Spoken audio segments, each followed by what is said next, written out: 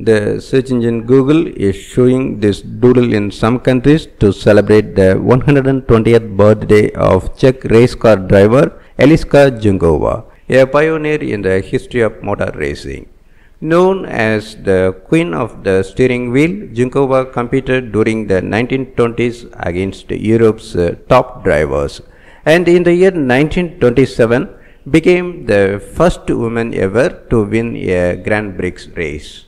Eliska Junkova was born on this day in the year 1900 in the Austro-Hungarian town today part of the Czech Republic. She took an interest in racing cars early on in high school alongside her then boyfriend and eventual husband. With her passion ignited, she took driving lessons and became one of the first women in the newly formed Czechoslovakia to receive a driver's license.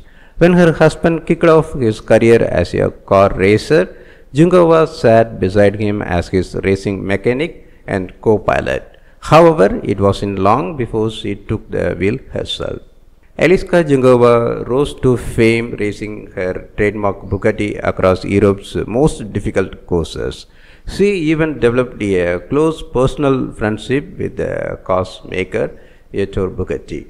Junkova was not only technically adept, she also earned a reputation as one of the first drivers to do walkthroughs of courses like Italy's famous Targa Florio prior to races in order to commit landmarks and turns to memory.